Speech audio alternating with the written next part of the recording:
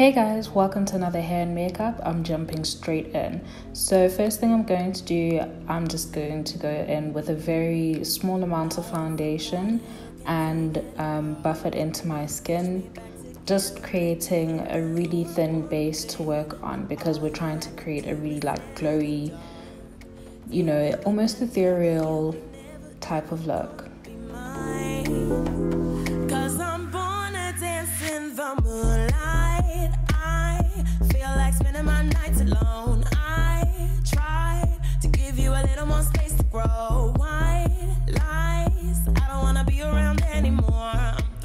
Next, I'm just using this MAC Pro Longwear Concealer in NC25 just to highlight my face um, in the way that I always do, starting with chin, nose, and forehead and blending it out before I do my under eye. I really, really hate to say this. It makes me itch to say this, but this is honestly the best concealer I've actually ever used, like ever. Like, it's almost the way it just sits once it's dry, like it's there, it does not budge, it's just there. And you guys know how I feel about MAC. Damn, nigga, damn, took a chance on you doubled and dipped again. Damn, scream, nigga, scream. Hit your mans up and tell them to get the van. And reminiscing can bring it back to the cabin in Michigan. But man, this the plan. Say goodbye to your love, cause it's the end. Uh. I feel like spending my nights alone. I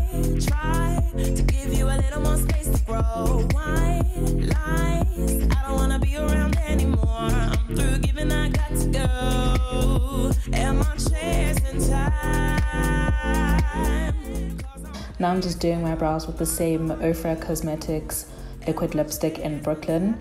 Just doing the base first, the really light base before.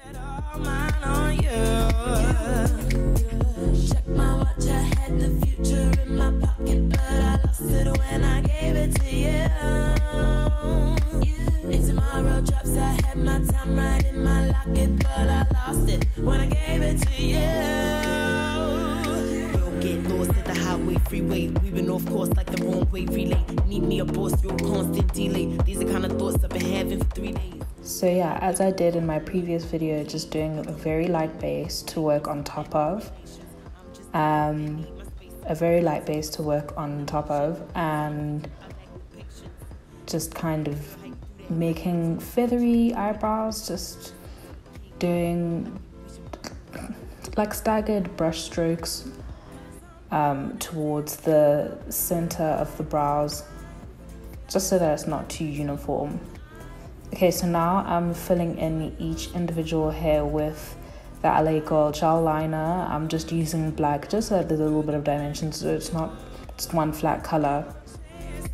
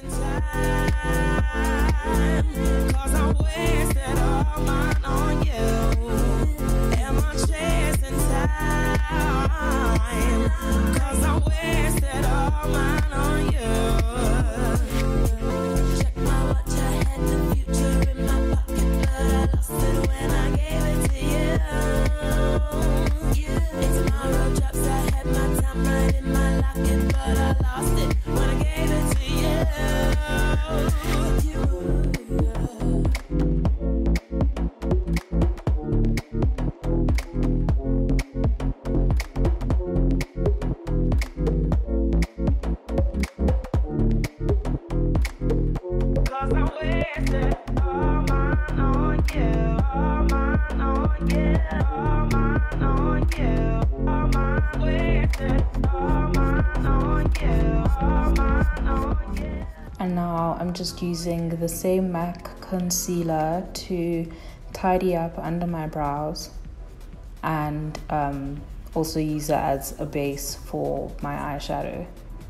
Guys, sorry, let me just reiterate like when I say it doesn't budge, it does not budge. It's such a good concealer. Like it actually makes me so mad that I love this concealer so much.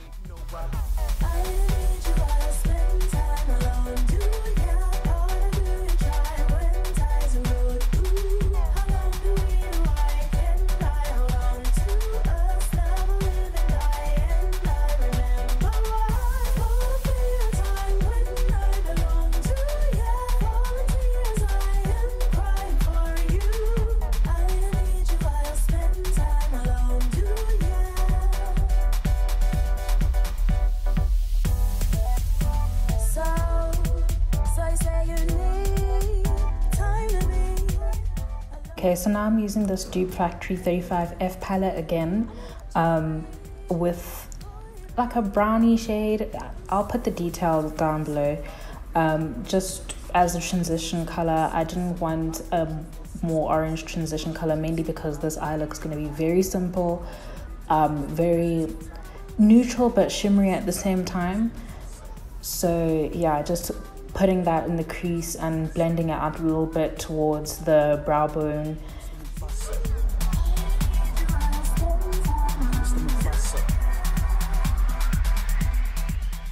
So yeah, now I just have to show you this gorgeous shimmery orange color. Oh my god, I live. I actually stand 100% for Dupe Factorie. Like, no ways. Like, this is what South Africa needed is dupes of like big brands, big ridiculous brands, and like their prices are so good. The pigment is so good. Like there's hardly ever any like kickback. Actually, no, there's no kickback.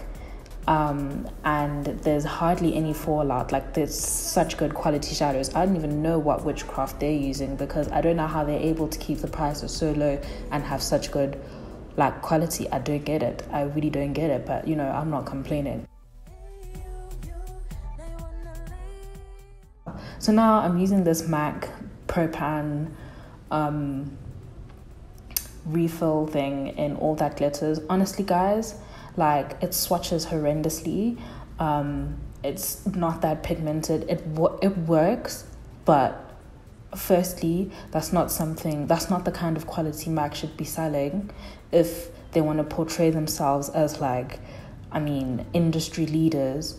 They're flopping. Like, uh, it's actually atrocious. Because I was looking at the pigments online. I was like, oh my gosh, these actually look really gorgeous. Like, and I got a whole bunch of them. I think I got six. And they all swatched horrendously. But at least it looks good on the eye. Like, it's a really pretty color I mean, you have to work with it. You have to work with it quite a bit.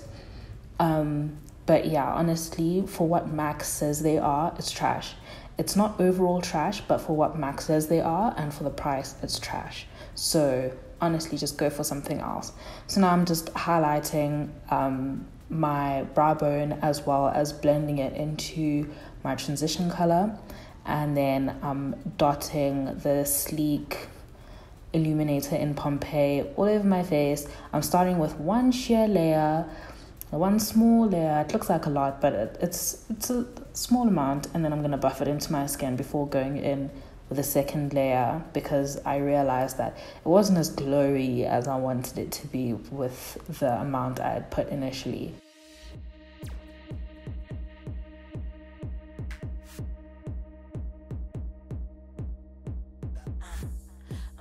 Bitch to college. I'ma give that bitch some knowledge. Understand that your bitch top novice. Just clap your hands, let me get my dollars. Smell like trees and the breeze and the breeze.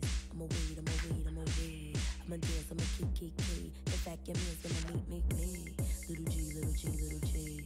I'ma hand you a free CD. Take a chance if you see me be. Click like a dandy. I highlight with this uh, Aliego blush stick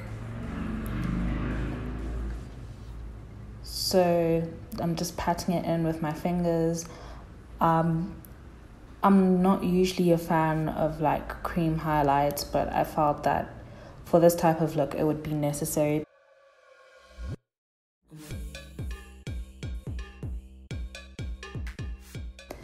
And then I'm setting my whole face with this hourglass, with the hourglass ambient lighting bronzer.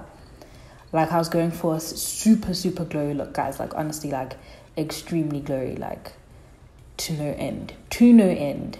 To no end. So now I'm using the Makeup Revolution Radiant um, Light Glow Powder to highlight my face before I I don't know why I put on lipstick before I did everything else, but you know, I did that.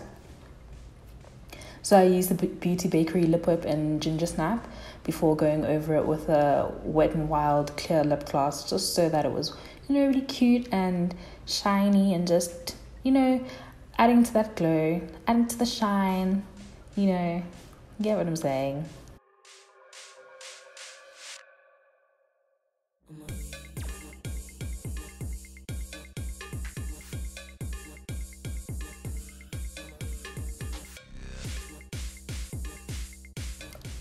It was suggested that I do like a Korean style makeup look. So instead of putting on blush the way I normally would, I put it like over like over my nose and yeah, over my you see what I'm you see what I'm doing. I'm sorry, like I'm just really terrible at explaining. So now I'm just doing everyone's you know worst makeup trend like fake freckles. I know everyone hates it, but I just wanted to give it a try because I don't know. I thought it would be cute. I was kind of going for like that pumpkin patch kind of, yeah, actually a pumpkin patch kind of look. Um, so just kind of working with it and just diving it out. So now I'm just putting on mascara. Uh, I literally just bought this mascara because I love Lancome. So I just assumed if I love most of the products that I got from them, then I'll just love their mascara, which I do. But at the end of the at the end of the day, I think I, I think I would love any mascara. It's very hard to mess up with mascara. It's mascara. So now I'm putting on um, my hare and makeup lashes in Melodrama.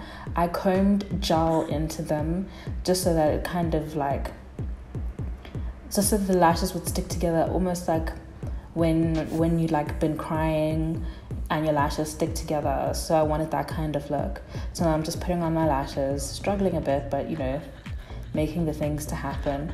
And then I'm gonna apply lower lashes, which you're gonna see me really struggle with. I fixed it off camera, but yeah, you you'll see just mess upon mess. me, God damn it.